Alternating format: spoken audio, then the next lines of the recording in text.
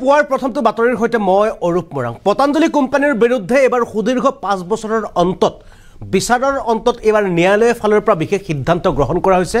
অৰ্থাৎ পতঞ্জলীয়ে অতি নিম্নমানৰ খাদ্য প্ৰস্তুত কৰি বিক্ৰী কৰাৰ বাবে এইবাৰ পতঞ্জলি কোম্পানীৰ বিশেষ খাদ্যক এইবাৰ সম্পূৰ্ণ বন্ধ কৰিলে ন্যায়ালয়ে। আমি এই মুহূৰ্তত জনাব বিচাৰিছোঁ এটা বিশেষ খবৰ।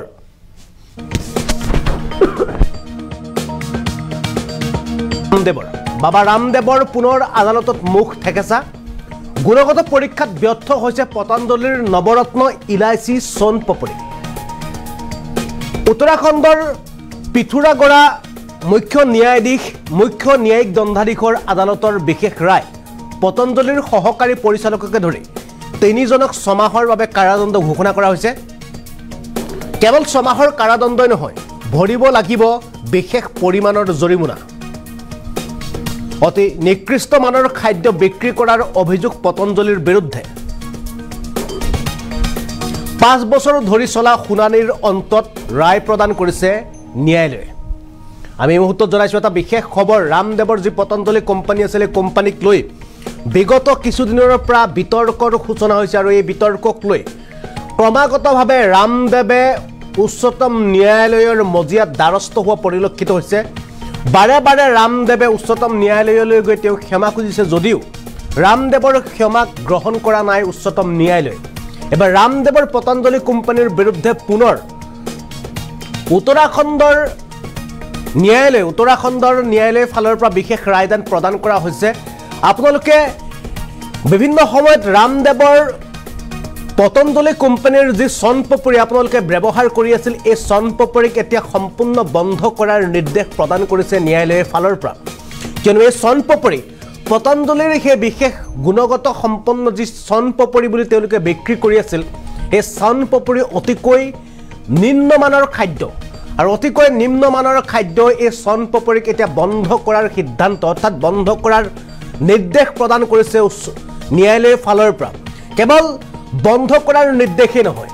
তিনিজনকৈ সহকাৰী পৰিচালকসহ তিনিজনকৈ পতঞ্জলিৰ ছমাহৰ বাবে কাৰাদণ্ড ঘোষণা কৰিছে আৰু কেৱল কাৰাদণ্ড নহয় তেওঁলোকে সেই ছমাহৰ কাৰাদণ্ডৰ লগতে তেওঁলোকে ভৰিব লাগিব নিৰ্দিষ্ট পৰিমাণৰ জৰিমনা। আৰু নিৰ্দিষ্ট পৰিমাণৰ জৰিমনাৰ কথা উল্লেখ কৰিছে। আৰু উত্তৰাখণ্ডৰ পিঠিৰগড়া যে ন্যায়ালয় আছে সেই ন্যায়ালয়ৰ ফালৰ পৰাই বিশেষ নিৰ্দেশ প্ৰেৰণ কৰা হৈছে। আমি জনাই আছোঁ এই বিশেষ খবৰটো কিয়নো আপোনালোকে বিভিন্ন সময়ত বিভিন্ন সময়ত কেৱল ভাৰতই নহয় কেৱল অসমই নহয় বিশ্বৰ বিভিন্ন প্ৰান্তত ৰামদেৱৰ পতঞ্জলি কোম্পানীৰ বহু সামগ্ৰীক ৰাইজে অতি উৎসাহেৰে কিনে কিয়নো তেওঁলোকে ভাবে যে ৰামদেৱৰ পতঞ্জলি নিজকে যোগগুৰু বুলি কোৱা এইগৰাকী ৰামদেৱৰ পতঞ্জলি কোম্পানীৰ যিসমূহ বিভিন্ন প্ৰকাৰৰ খাদ্যৰ পৰা আৰম্ভ কৰি বিভিন্ন প্ৰকাৰৰ যিসমূহ সামগ্ৰী সামগ্ৰীক তেওঁলোকে অতি উৎসাহেৰে তেওঁলোকে ক্ৰয় কৰে যে এয়া গুণগত সম্পন্ন সামগ্ৰী বুলি। কিন্তু প্ৰকৃততে এই সামগ্ৰীত এতিয়া এটা এটাকৈ ধৰা পৰিছে কেনে প্ৰকাৰে তেওঁলোকে এই সামগ্ৰীসমূহ প্ৰস্তুত কৰে।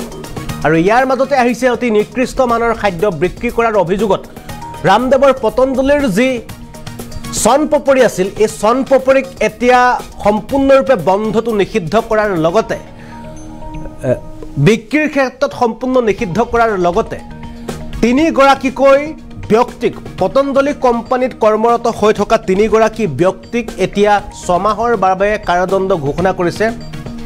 আৰু তেওঁলোকৰ ভিতৰত আছে এগৰাকী সহকাৰী পৰিচালক আনহাতে দুগৰাকীকৈ কৰ্মচাৰীক বিষয়া কৰ্মচাৰীক ছমাহৰ বাবে কাৰাদণ্ডৰ লগতে নিৰ্দিষ্ট পৰিমাণৰ জৰিমনাৰ ঘোষণা কৰিছে এইবাৰ ন্যায়ালয়ৰ ফালৰ পৰা। আমি ইতিমধ্যে আমি জনালোঁ যে আদালতত পুনৰ মুখ ঠেকেচা খাইছে বাবা ৰামদেৱে। গুণগত পৰীক্ষাত ব্যৰ্থ হৈছে পতঞ্জলিৰ নৱৰত্ন ইলাচি চন পপৰি আপোনালোকে পতঞ্জলিৰ নৱৰত্ন ইলাচি চন পপৰি আপোনালোকে ক্ৰয় কৰে নেকি? হয়তো বিভিন্ন সময়ত আপোনালোকে ক্ৰয় কৰি এই চন পপৰি আপোনালোকে খাই আছিল। কিন্তু এই চন পপৰি অতি নিম্নমানৰ খাদ্য অতি নিকৃষ্ট মানৰ খাদ্য। উত্তৰাখণ্ডৰ পিথোৰগড়া মুখ্য ন্যায়াধীশ মুখ্য ন্যায়িক দণ্ডাধীশৰ আদালতে দিছে এক বিশেষ ৰায়। আৰু পতঞ্জলিৰ সহকাৰী পৰিচালককে ধৰি তিনিজনক ছমাহৰ বাবে কাৰাদণ্ড ঘোষণা কৰিছে। কেৱল ছমাহৰ কাৰাদণ্ডই নহয় ভৰিব লাগিব বিশেষ পৰিমাণৰ জৰিমনা অতি নিকৃষ্ট মানৰ খাদ্য বিক্ৰী কৰাৰ অভিযোগ পতঞ্জলিৰ বিৰুদ্ধে। পাঁচ বছৰ ধৰি সুদীৰ্ঘ পাঁচ বছৰ ধৰি এই বিষয়টোৰ সম্পৰ্কত বা এই বিষয়টোক লৈ ন্যায়ালয়ত শুনানি চলি আছিল আৰু শেহতীয়া পৰ্যায়ত ন্যায়ালয়ৰ ফালৰ পৰা উত্তৰাখণ্ডৰ ন্যায়ালয়ৰ ফালৰ পৰা মুখ্য ন্যায়িক ন্যায় দণ্ডাধীশৰ আদালতে এই চন পপৰি যি নৱৰত্ন ইলাচি চন পপৰি পতাঞ্জলিৰ এই চন পপৰিক বন্ধৰ নিৰ্দেশ দিয়াৰ লগতে তিনিজনক কাৰাদণ্ডৰ ঘোষণা কৰিছে। উত্তৰাখণ্ডৰ মুখ্য ন্যায়িক দণ্ডাধীশৰ আদালতে। আৰু সেয়েহে আপোনালোকে এতিয়াৰ পৰা পতাঞ্জলি সামগ্ৰী ক্ৰয় কৰাৰ পৰা বিৰত থাকক কিয়নো এই পতাঞ্জলিত অতি ভয়ংকৰ পৰিমাণে কেমিকেল ব্যৱহাৰ কৰাৰ উপৰিও অতি নিম্নমানৰ খাদ্য প্ৰস্তুত কৰাৰ বিভিন্ন সময়ত অভিযোগ উত্থাপন হৈ আছে আৰু বাৰে বাৰে ৰামদেৱে উচ্চতম ন্যায়ালয়ৰ দ্বাৰস্থ হৈ তেওঁ ক্ষমা খুজি আছে যদিও উচ্চতম ন্যায়ালয়ৰ ফালৰ পৰা কোনো ধৰণৰ ক্ষমা কৰি দিয়া নাই ৰামদেৱক আৰু পতঞ্জলি কোম্পানীক শেষত। এতিয়া বন্ধ কৰা হ'ল পতঞ্জলিৰ চন পপৰি এনেদৰে বিভিন্ন যিসমূহ সামগ্ৰী আছে সেই সামগ্ৰীসমূহক এটা এটাকৈ এনেদৰে ন্যায়ালয়ৰ নিৰ্দেশত বন্ধ কৰা হৈছে ৰামদেৱৰ পতঞ্জলি কোম্পানীৰ সামগ্ৰীসমূহক।